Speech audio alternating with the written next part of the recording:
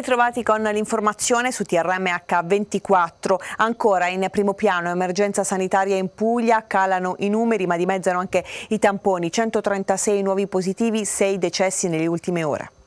Tamponi dimezzati, numeri in calo. L'emergenza sanitaria in Puglia rimane stabile. Su 2.433 tamponi processati, 136 sono i nuovi casi registrati. 114 in provincia di Bari, 24 nella provincia della Bat, 4 in provincia di Foggia, 4 in provincia di Lecce e 7 in provincia di Taranto. 17 invece sono i casi residenti fuori regione. I numeri che nelle ultime ore però preoccupano sono quelli relativi ai decessi 6 quelli registrati nelle ultime ore, 2 in provincia di Bari, 3 in provincia di Foggia, 1 in provincia di Taranto. Salgono così a 614 i decessi da Covid-19 in Puglia. Sono 9.669 invece i casi confermati da inizio emergenza sanitaria in regione, 3.913 i casi attualmente positivi.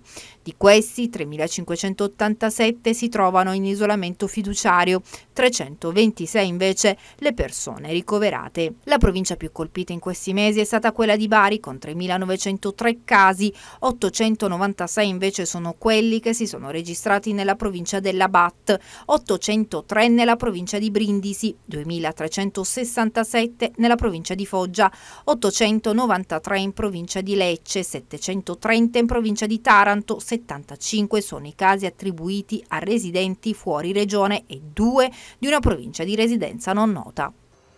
E il Policlinico di Bari ha disposto i tamponi per i 20 dipendenti del Giovanni XXIII, tra questi uno solo è risultato positivo. Intanto l'ASL di Brindisi nelle prossime ore distribuirà i vaccini antinfluenzali ai medici di medicina generale.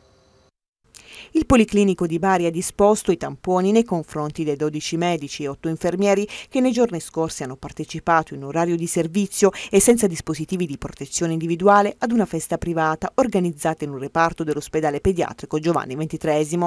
Gli operatori sanitari sono stati tutti cautelativamente sospesi dal servizio e messi in isolamento fiduciario.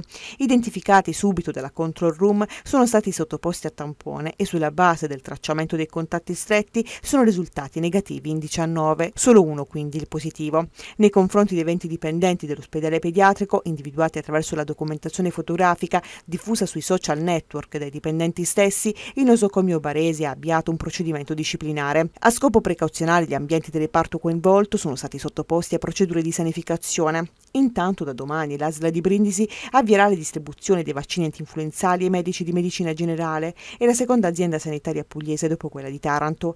Ai medici di base brindisini verranno in prima battuta consegnate 100 dosi a testa. I primi ad essere chiamati per sottoporsi al vaccino saranno gli anziani. La Regione Puglia attraverso l'ASLA di Bari, stazione unica appaltante, ha acquistato oltre 2 milioni di dosi. Di queste 150.000 saranno riservate ai farmacisti.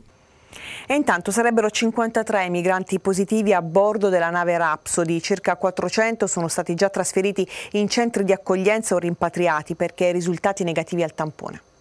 Sono rimasti a bordo della nave Rhapsody 53 migranti risultati positivi al coronavirus. Il traghetto nel porto di Bari da giovedì 8 ottobre aveva viaggiato per tre giorni con a bordo 805 migranti, dei quali circa 400 sono stati già trasferiti o collocati in centri di rimpatrio nelle scorse ore. Tutte le operazioni sono avvenute a bordo della nave. A bordo viaggiavano anche 85 minori, 79 dei quali non accompagnati e tra i primi ad essere ricollocati in centri di accoglienza dedicati. Tutte le persone che hanno lasciato la nave sono risultate negative al tampone. Nei confronti dei restanti sono stati avviati gli ulteriori accertamenti sanitari e gli oltre 300 tamponi eseguiti fino a qualche ora fa hanno accertato il contagio delle 53 persone. Gli accertamenti sono ancora in corso, fa sapere la prefettura, assicurando che tutti coloro che scenderanno saranno muniti di certificazione individuale attestante la negatività al Covid-19. In precedenza erano state già ricollocate decine di migranti risultati negativi ai test, tra i quali numerosi minori accompagnati in centri di accoglienza e rimpatrio. La Rhapsody dovrebbe lasciare il porto di Bari al termine dei risultati dei tamponi. Ed ora ci spostiamo in Basilicata. La task force regionale rende noto che su 1096 tamponi effettuati si sono registrati 30 nuovi positivi. La task force regionale comunica che nei giorni 10 e 11 ottobre sono stati processati 1096 tamponi per la ricerca di contagio da Covid-19, di cui 30 sono risultati positivi. Le positività riscontrate riguardano 6 persone residenti in Puglia e lì in isolamento, 4 persone residenti a Matera, 2 persone residenti a Venosa, una residente a Ferrandina, una a Calvello da riferirsi alla casa di riposo di Marsicovetere, una a Sarconi, due a Potenza di cui una in isolamento in Puglia, una persona residente ad Aliano, Satriano, due a Tricarico, una persona residente a Pomarico, quattro persone residenti a Brienza e una persona rispettivamente ad Avigliano, Satriano, Marsico Nuovo e San Chirico Raparo in isolamento a Brienza, oltre una persona residente a Tramutola. Nella giornata di ieri risultano guarite quattro persone, una residente a Brienza, una a Tolve, una a Palazzo San Gervasio e una a Melfi. I lucani attualmente positivi sono 398 e di questi 364 si trovano in isolamento domiciliare. Sono 36 ricoverati nelle strutture strutture ospedaliere lucane. A Potenza 18 persone, tra cui un guarito in attesa di dimissioni, sono ricoverate nel reparto di malattie infettive, 12 persone nel reparto di pneumologia e una nel reparto di medicina d'urgenza dell'ospedale San Carlo. A Matera invece 5 persone, tra cui una guarita in attesa di dimissioni, si trovano nel reparto malattie infettive dell'ospedale Madonna delle Grazie. Dall'inizio dell'emergenza sanitaria sono stati analizzati 82.280 tamponi, di cui 81.205 sono risultati negativi.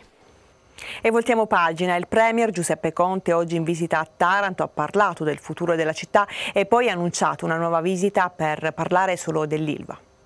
Vogliamo quindi offrire un riscatto economico, sociale e culturale a questo territorio sofferente. Una promessa solenne a una città che ha bisogno di risposte. Giuseppe Conte riparte da Taranto dopo una giornata in cui ha firmato il contratto istituzionale di sviluppo e inaugurato la sede ionica della Facoltà di Medicina dell'Università di Bari, lasciandosi dietro le speranze di tanti tarantini stanchi di parole e avidi di fatti. Per questo ha annunciato che presto tornerà per un incontro specifico su Ilva. Noi stiamo lavorando per, in questo negoziato perché abbiamo coinvolto la parte pubblica, in particolare c'è il soggetto che è destinatario di questo coinvolgimento pubblico che è Invitalia, sta lavorando con gli ArcelorMittal per perseguire quegli obiettivi che ci siamo riproposti. Chiudere un polo siderurgico in Italia è un problema di sistema, ma noi vogliamo rendere e accelerare la transizione energetica, verde, arrivano anche soldi del Recovery Fund, abbiamo la possibilità di farlo, abbiamo la possibilità di preservare anche occupazione, proprio alla luce delle sofferenze, del dolore, stata, della rabbia anche di questa comunità.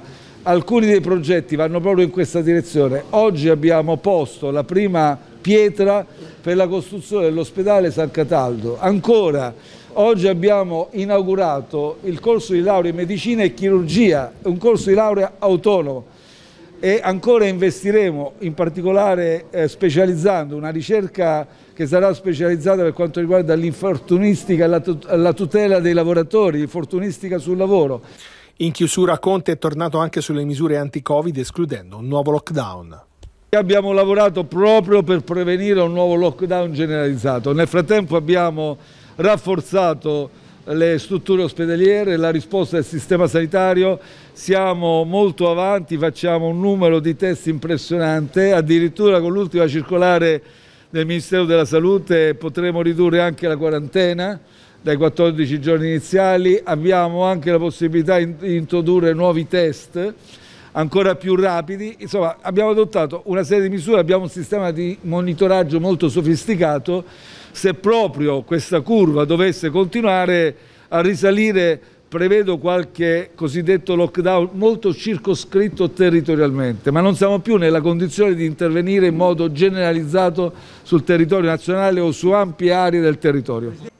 E passiamo alla cronaca. A Noce un automobilista è stato picchiato per un parcheggio, tre i ragazzi arrestati avrebbero picchiato violentemente un automobilista durante un diverbio per un parcheggio. Per questo tre giovani di Putignano di 19 e 21 anni, tutti già noti alle forze dell'ordine per reati di droga, sono stati arrestati dai carabinieri. L'episodio è accaduto sabato mattina a Noci, in provincia di Bari. Due di loro al momento sono in carcere, mentre il terzo è ai domiciliari in attesa che il giudice decida sulla convalida delle misure cautelari. Stando alla ricostruzione fornita dai militari coordinati dal PM di turno Marcello Quercia, poco prima di mezzogiorno in via Siciliani a Noci, un automobilista 53enne sarebbe stato aggredito con calci e pugni finendo in ospedale al Miuli di Acquaviva delle Fonti, dove è ancora ricoverato con prognosi di 30 giorni, con il setto nasale rotto e lesioni a schiena e torace. Dopo l'iniziale litigio verbale, i tre avrebbero colpito l'uomo con violenza brutale, dicono gli investigatori, provocando lesioni gravissime al povero malcapitato. L'aggressione è stata interrotta, evitando conseguenze ancora più gravi dall'arrivo di una pattuglia dei carabinieri. Due dei tre avrebbero continuato ad avere atteggiamenti minacciosi e aggressivi anche contro i militari, tanto da scagliarsi contro uno di loro, procurandogli una leggera contusione al volto. Entrambi in carcere rispondono di lesioni personali aggravate, resistenza pubblico ufficiale, mentre l'altro ventunenne agli arresti domiciliari è accusato delle lesioni all'automobilista. Sono trascorsi 18 anni da quando Vincenzo Moretti, detto Vinni, perse la vita in un incidente stradale e dopo 18 anni il padre torna a chiedere giustizia. 14 aprile 2002 Vincenzo Moretti, detto Vinni, di soli 20 anni, muore in un incidente stradale sul lungomare di Bari. Insieme a lui perde la vita anche sua cugina, la diciannovenne Maria Ester Martino. Ora, dopo 18 anni, il padre di Vincenzo, Biagio Moretti, presidente della Fondazione Ciao Vinni, torna a chiedere giustizia. Giustizia che dice non ha dato ancora alcuna risposta su quanto accaduto. Con il reato di omicidio colposo ormai prescritto, il processo di appello bis per le sole questioni civili è fissato per il il 14 gennaio del 2021. Il primo grado si è celebrato dal 2006 al 2009 e quello di appello dal 2010 al 2014. In entrambi si è affermata la responsabilità con la condanna a due anni e due mesi di reclusione per il trentenne che conduceva l'auto con la quale si scontrò quella con a bordo le vittime guidata da Andrea Godono, che invece fu assolto. La Cassazione nel 2017 ha annullato con rinvio quella sentenza e il nuovo processo dovrà appunto accertare l'eventuale concorso di colpa. La storia di mio figlio Vincenzo è purtroppo la storia di tanti ragazzi strappati alla vita da un incidente stradale, scrive il padre in una lettera aperta, parlando di tempi della giustizia infinitamente lunghi. Certo, aggiunge, la verità non ci avrebbe restituito nostro figlio, ma almeno avremmo avuto la sensazione di andare incontro ad un minimo di giustizia giustizia. Mi rifiuto di credere, ha concluso Biagio Moretti, che siano necessari più di 18 anni per capire. E continuiamo con la cronaca. Hanno rubato un'auto davanti ad un parcheggio condominiale sotto gli occhi sconvolti dei proprietari. È accaduto a Terlizzi, in provincia di Bari. Un'azione rapida avvenuta in pochi secondi, in pieno giorno. Complici tre uomini che hanno rimorchiato la vettura fino alla fuga. L'incredibile scena è stata ripresa con alcuni cellulari dagli abitanti delle palazzine. Forse per questa ragione, poche ore dopo, i ladri hanno abbandonato l'automobile nelle campagne di Terlizzi. Il mezzo è stato poi ritrovato dai carabinieri. E ci spostiamo a Valenzano, sempre in provincia di Bari. Il sindaco Giampaolo Romanazzi ha ritirato le sue dimissioni presentate il 27 settembre scorso. Vediamo. Ho deciso di ritirare le mie dimissioni. Con queste parole inizia il post che il sindaco di Valenzano Giampaolo Romanazzi ha pubblicato sulla sua pagina Facebook. Il giovane primo cittadino aveva presentato le proprie dimissioni il 27 settembre scorso, parlando di fratture createsi tra le forze politiche che hanno impedito una svolta vera e talvolta ciò ha rallentato il lavoro di questi mesi. Oggi pare che queste fratture si siano ricomposte. La fiducia che avete riposto nei miei confronti, la stima, l'affetto e la vicinanza che mi avete dimostrato per strada e sui sui social mi hanno commosso e mi spingono a lavorare per il nostro paese con la dedizione e lo spirito di servizio di sempre. C'è stato inoltre il chiarimento che auspicavo con i gruppi che oggi compongono la maggioranza consigliare, continua il sindaco Romanazzi nel suo post. Ho apprezzato in particolar modo l'impegno con cui tutti si sono prodigati per trovare una soluzione condivisa. Sapevamo che si trattava di un percorso lungo in salita, impossibile dare al paese un volto nuovo in poche semplici mosse, anche per la complessa situazione che abbiamo ereditato sul piano amministrativo, con molti uffici comunali cruciali per il benessere e la sicurezza del paese sotto organico.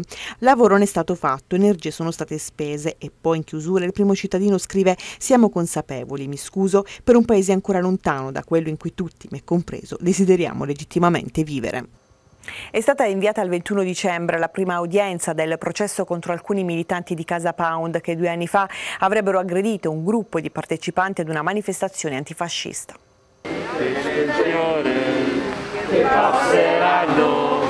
Oh bella ciao bella ciao bella ciao ciao e le genti che passeranno. Fuori dal tribunale un presidio del coordinamento antifascista di Bari ha sventolato bandiere e intonato Bella Ciao. In aula invece è stata rinviata al 21 dicembre la prima udienza del processo sull'aggressione ad un gruppo di manifestanti antifascisti compiuta, secondo l'accusa, nel settembre 2018 da 28 militanti di Casa Pound. Alla manifestazione in favore delle vittime dell'aggressione contro ogni forma di fascismo hanno partecipato Ampi, Arci, CGL Bari insieme al presidio Luigi Fanelli di Libera e agli studenti di Link e Zona Franca. Insieme ai manifestanti anche l'ex europarlamentare Eleonora Forenza tra le vittime dell'aggressione del 21 settembre di due anni fa. Sì, ha un uh, significato perché eh, non solo perché siamo tra le persone che hanno denunciato l'aggressione del 21 settembre del 2018, ma anche perché sappiamo che diciamo, tra i capi d'accusa c'è la ricostruzione del partito fascista e dopo la sentenza di Atene che ha condannato mm, Alba Dorato come organizzazione criminale sentiamo tutto il peso diciamo, non soltanto eh, rispetto alla nostra denuncia ma anche al problema delle organizzazioni neofasciste in Europa che ha questo processo. Il fiore del partigiano morto E a Bari la giornata antifascista è cominciata già questa mattina con il gesto simbolico di intitolare via Eritrea, dove aveva sede Casa Pound, a Maria Celeste Nardini, ex parlamentare di rifondazione comunista scomparsa da poco. Quella del fascismo è una pagina chiusa che non va mai più riaperta e per scongiurarne qualsiasi tentativo si deve partire dalla toponomastica cancellando i nomi di quelle strade che rievocano una delle parentesi più buie della storia italiana. Una tra tutte a Bari e via Eritrea, la strada che i militanti di rifondazione comunista hanno pensato di intitolare simbolicamente a Maria Celeste Nardini, ex parlamentare barese da poco scomparsa. L'iniziativa è stata lanciata da Francesco Loconte, giovane militante del partito, tramite una raccolta firme firme e accolta dall'ex europarlamentare di rifondazione comunista Eleonora Forenza. Non è un caso che abbiamo chiesto di intitolare Via Eritrea a Maria Celeste Nardini, ma in realtà diciamo, questo fa parte di un lungo percorso che oggi prende, prende piede e che mette in discussione l'intera toponomastica della città perché non si possono più tollerare nel 2020 via Massaua, eh, via Martiri di Dogali, strade che inneggiano apertamente al fascismo. Vogliamo intitolare questa strada a Maria Celeste Nardini, parlamentare comunista, parlamentare femminista, parlamentare antifascista. In questa strada troppi nomi di strade rinviano all'epoca fascista. Crediamo che il fascismo vada combattuto nelle strade, nei tribunali, Casa Pound va sciolta, e anche nella cultura di questa città. Proprio qui, in questa via, nel quartiere Libertà, si trovava la sede barese di Casa Pound, ora sotto sequestro, ed è questo il luogo in cui, il 21 settembre del 2018, furono aggrediti alcuni manifestanti antifascisti di ritorno da un corteo organizzato dopo la visita dell'allora ministro dell'Interno Matteo Salvini. Per quell'episodio saranno processate 28 persone, esponenti del movimento politico di estrema destra, accusate di riorganizzazione del disciolto partito fascista e manifestazione fascista. Ad avere la peggio in quell'aggressione fu Antonio Perillo. La ferita si è ricucita, eh, però certamente diciamo, siamo stati vittime di un'aggressione completamente a freddo, brutale, non era una eh, discussione concitata, noi eravamo a oltre 100 metri all'incrocio qui tra via Eritrea e via Crisanzio. Adesso stamattina arrivare qui per via Eritrea e fare questo percorso per me che non sono di Bari e ci sono tornato, insomma è stato abbastanza, eh, diciamo, abbastanza emozionante. Maltempo in Puglia, oltre 11.000 aziende a rischio, campi e frantoi allagati a causa dei violenti nubifragi che si sono abbattuti nelle scorse ore proprio sul territorio pugliese.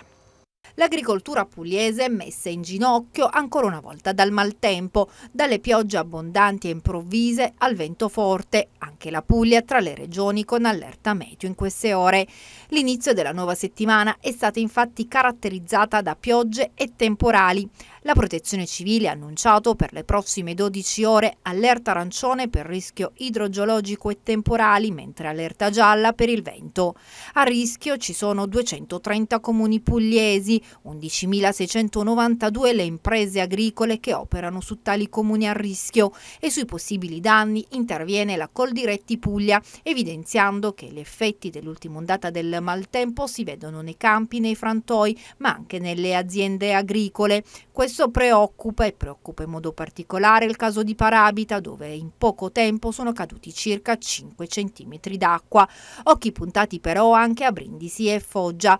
Servono interventi di manutenzione, fanno sapere dall'associazione di categoria, di risparmio, recupero e riciclaggio delle acque e delle campagne di informazione ed educazione anche sull'uso corretto dell'acqua continuano.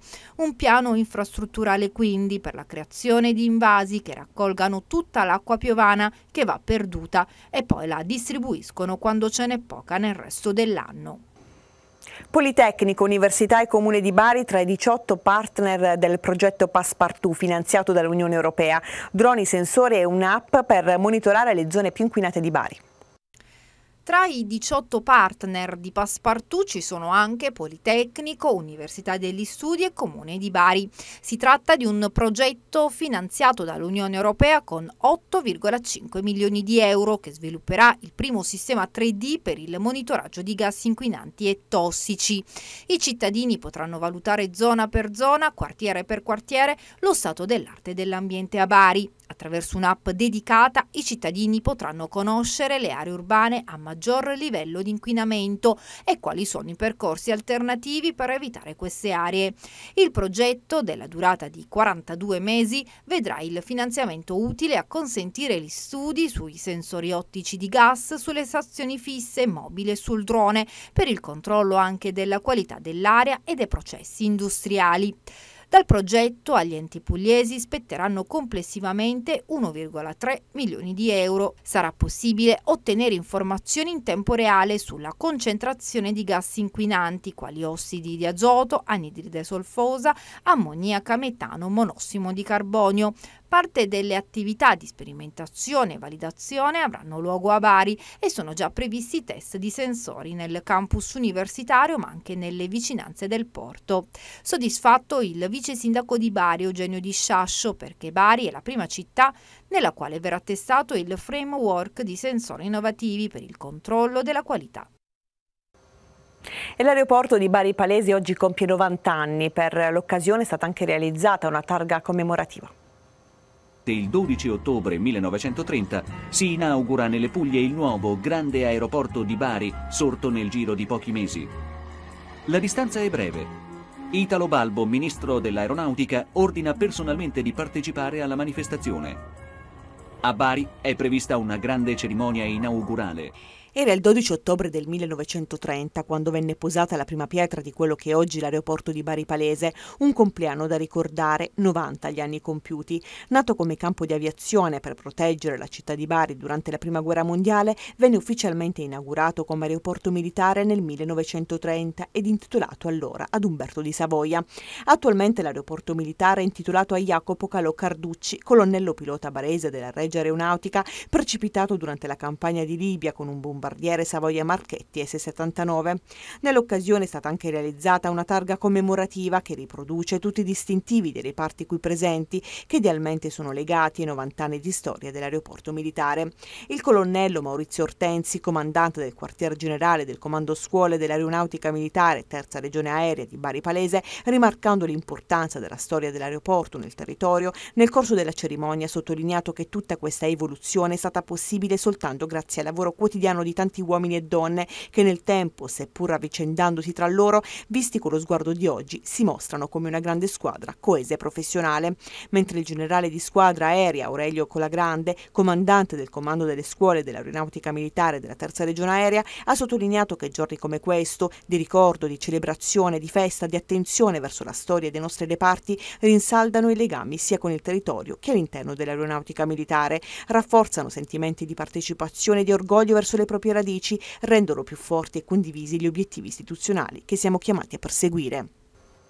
È la città di Alberobello tra i 500 luoghi più belli d'Italia. Il riconoscimento arriva da una nota rivista australiana specializzata in guide turistiche. Arriva un altro riconoscimento per Alberobello, simbolo della Puglia e patrimonio dell'UNESCO. La cittadina e provincia di Bari è stata inserita tra i 500 luoghi più belli del pianeta e per la precisione al 273 posto nel mondo e al 15 tra le migliori città italiane. L'Only Planet premia la capitale dei Trulli inserendolo nella classifica del mondo 2020. La casa editrice australiana specializzata in guide turistiche e punto di riferimento per i viaggiatori ha premiato Alberobello nella raccolta annuale delle 500 destinazioni installazioni più emozionanti, memorabili, interessanti del pianeta, classificate in ordine di attrattiva, come scrivono nella prefazione i curatori del volume. Alberobello entra quindi nell'elenco ideale dei luoghi da visitare almeno una volta nella vita. La classifica nasce da una raccolta delle mete delle guide Lonely Planet che gli autori avevano segnalato come da non perdere. Tra migliaia di proposte è stato poi selezionato un elenco più ristretto e la community Lonely Planet ha votato le 20 destinazioni preferite da ciascuno. Contando i voti si è giunti a un punteggio per ognuna delle top 500. Alberobello infatti ha vinto nella sezione campagna con il 93% dei consensi, risultando anche la località più votata in assoluto rispetto ad altre due vincitrici, Canazei per la montagna e Tropea per il mare. A dicembre 2019 inoltre la capitale dei Trulli era risultata la meta più gettonata per le vacanze di Natale in un sondaggio tra i dipendenti delle pubbliche amministrazioni. Alberobello accoglie ogni anno 2 milioni di turisti, di cui il 48% stranieri e negli ultimi tempi le presenze sono state sempre in crescita. Nell'estate 2019 hanno avuto un incremento di 12.000 unità a giugno rispetto al 2018, sfiorando le 30.000 a luglio, 44.000 ad agosto. E negli ultimi mesi, nonostante il difficile periodo di ripresa dopo il Covid-19, turisti e visitatori sono tornati a riempire i vicoli del Rione Monti con numeri quasi inaspettati data l'emergenza. Questo risultato è stato raggiunto in collaborazione con tutta la comunità, ha affermato il sindaco e delegato Anci Puglia per il turismo Michele Longo e con gli operatori del settore che con grande dedizione e impegno ogni giorno lavorano affinché Albero Bello sia terra di accoglienza e di apertura al mondo. Il riconoscimento di Lolly Planet è stato anche applaudito dal sindaco di Bari e presidente Anci Antonio De Caro che in un post su Instagram ha scritto è un motivo di orgoglio per tutti noi perché significa migliorare l'attrattività turistica e generare nuove economie di cui non beneficia solo Alberobello ma tutti i comuni della città metropolitana. A Biceglie è stata allestita la mostra Strati d'arte. Esporranno le loro opere due artisti pugliesi, Michele Agostinelli e Nick Giù.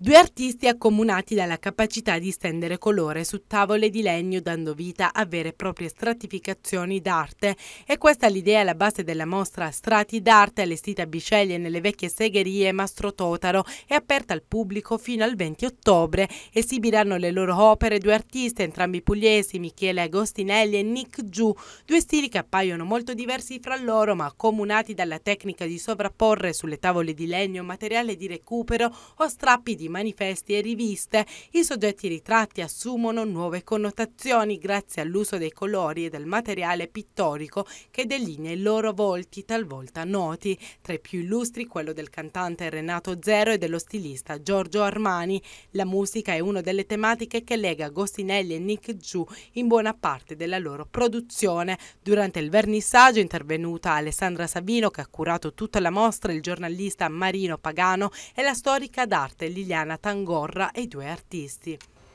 E questa è l'ultima notizia per questa edizione del nostro telegiornale. Vi ringraziamo per averci seguito e vi invitiamo ancora a rimanere sui nostri canali per altri spazi di informazione dedicati alla Puglia e alla Basilicata.